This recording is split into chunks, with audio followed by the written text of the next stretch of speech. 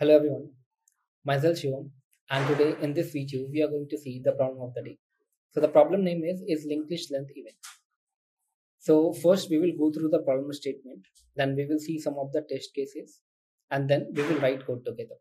So the problem is stating that given a linked list, your task is to complete the function is length even which contains the head of the linked list and check whether the length of the linked list is even or not. Return true if it is even, otherwise false. So the problem statement is very simple. Actually, we need to find out the length of the linked list. And if the length of the linked list is even, we need to return true. Otherwise, we need to return false. Let's go through the test cases we have. So the first test case is 12, 52, 10, 47, 95, and 0, right? If you see the length of this linked list, the length of the linked list is 6, right? So since the length of the linked list is 6, so the output is true, right?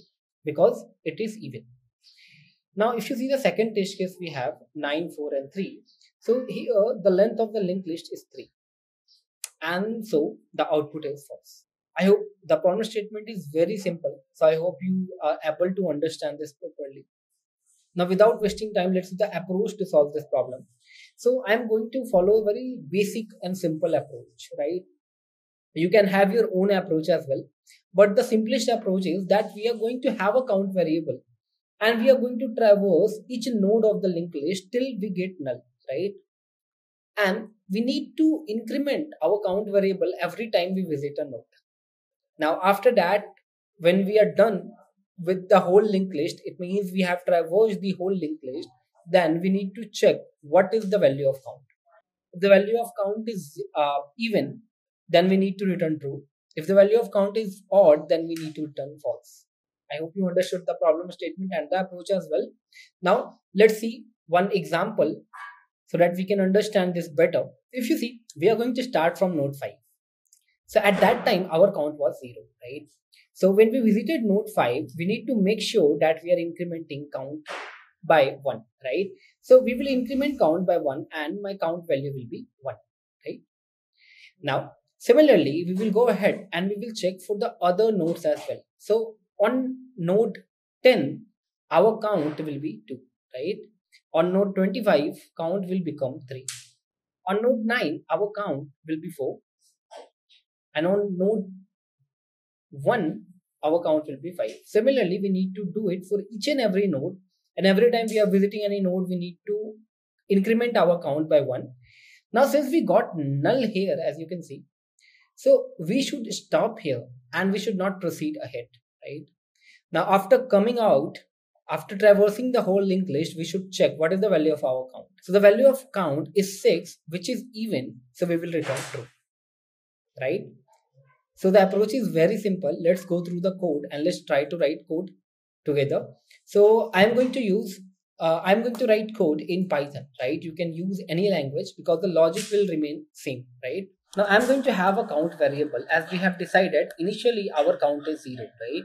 Now we are going to traverse in the linked list uh, using while loop. You can use any loop according to your wish.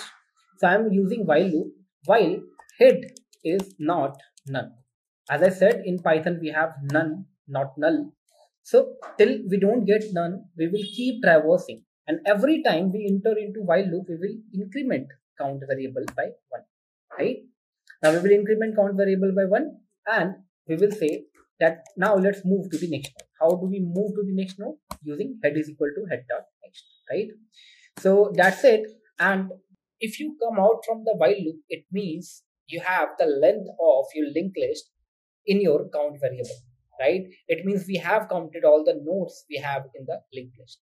Now we need to see what is the value of count. If the count value is even, then we need to return true. If the count value is odd, we need to return false, right? So I will be directly writing like this. If count modulo 2 is equal to is equal to 0, right? So that is what I'm going to return. I hope you know what modulo operator does. It returns the remainder, right? So let's say our count value is 6 then 6 modulo 2 it will have 0 remainder right so if 0 is equal to is equal to 0 it means the condition is true so we will be returning true directly and if the condition is false then we will be returning false so it will be totally based on the condition right so that's it this is going to be the whole code let's compile and let's see if the code is working fine. Uh, my bad. I have written count plus plus. Actually, in Python, it is not allowed. So we need to write count plus one and let's see. Let's now compile our code and let's see if the code is working. So the code is working fine. Let's submit and let's see if all the test cases are getting passed. So all the test cases are also getting passed. So I hope you understood the uh, code as well. Now let's talk about the time and space complexity. So as you can see, we are just traversing in the whole linked list, right? So since the traversal, every time we are traversing, we are just incrementing count by one. So it will not take any time complexity, right? So just traversal will take some time. So since uh, there can be n node in the linked list, so the time complexity is going to be big O of n. And what about the space complexity? Since we are not using any other data structure or any space other than a count variable, which is going to take uh, constant space, obviously. So the space complexity is also because one. So I hope you understood the problem and the solution that we have discussed. Thank you for watching the video.